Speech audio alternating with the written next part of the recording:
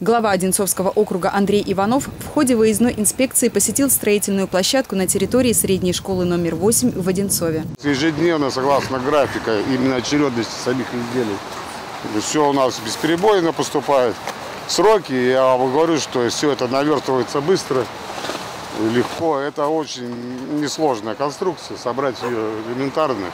Как раз к этому моменту, к весне, мы уже будем готовы заниматься территорией школы.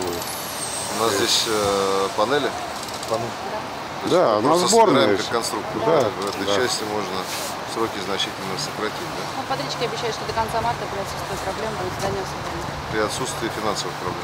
На сегодняшний день на площадке задействовано порядка пяти единиц специализированной техники. Работы ведутся ежедневно. Чтобы избежать отставания в графике, по мере возведения здания количество работников будет увеличиваться. В планах привлечь до 160 человек. Основные геодезические все фундаменты уже выполнены. Сейчас идет э, сборка самой школы. Она сборная железобетонная конструкция. А, За три месяца мы ее соберем. Ну и там уже ста- стандартные внутренние наружные отделки. И в этом году завершим мы школу. Елена Краева, Артем Ломоносов, телекомпания «Одинцова».